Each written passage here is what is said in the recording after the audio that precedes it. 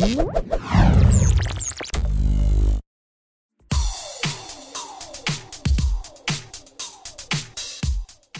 for FirstZoom TV. We're back with Gigabyte again, and we get Hunter with us to show us another interesting product here. So, what are we looking at? Hello, everyone. Uh, today we're gonna show you the first time debut in the Gigabyte. We're gonna show you the first time we show two-port Thunderbolt solution from Intel. So we have a live demo in here, and today we're gonna show you the two-port Thunderbolt solution, what we can do with uh, this kind of application.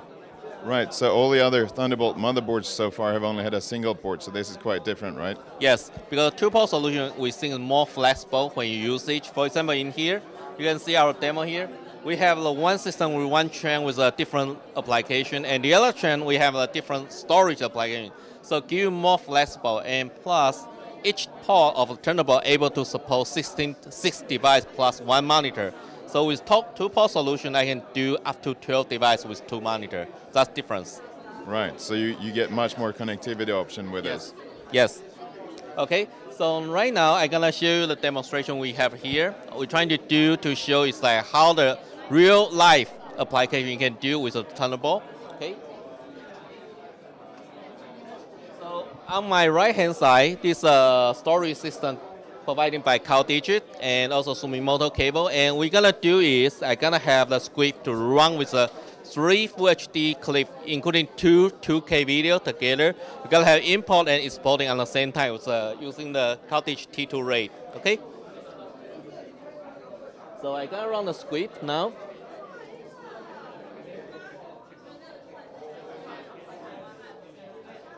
Okay, so script in loading. So I gonna play and I gonna fast forward a little bit. So this uh, script you gonna see is right now have three different scripts on the same time. The two small ones are 2K video and mix with one Full HD video together. You can see all the frame rate is very smooth and not dropping. Okay, and also with this kind of high-end RAID system, you can do also shift on the fly. For example, let me show you here. I can pause. I can drag into any point I like, even very fast forward. You will see the RAID drive is working very hard. You see that both lights blinking very hard. So because I do shift on the fly. Okay, but you won't see this kind of performance in the home regular home PC system. That's the one of the application you can do. Okay, with the high-end video editing in the home. Okay. So what, what, what's this cable? You mentioned this. This looks like something quite different. Yes, uh, this is a special cable from the Sumitomo. Uh, this year we teamed up with the Sumitomo. On the standard Thunderbolt cable is about 3 meter, but although the cable you get most on the market is 1.5 meter, but they did a great job, very brilliant job. They trying to do is a mix with the copper technology with fiber technology right now. So they can do is, if we take a look on the cable here, on my right hand side, this is a standard Thunderbolt cable connector, looks shorter. But on the other hand, on my left hand side, this Sumitomo cable, it looks longer, bigger. Because inside, they also have converter. They're converting the electronic signal into the optical signal. So both ends, you're using the optical cable to transfer the data at the same time. So right now in this prototype, they're able to, to show is 25 meter. Later they say they got pushed to to 50 meter or even 100 meter. Right, that's going to make it a lot easier to connect devices that aren't right next to your computer. Yes, yes that's right. Okay. On the other hand, I can show you what's the benefit with a two-port solution right now. For example, I'm still playing my high-end clip in here, but the other hand, I my the other chain basically from here.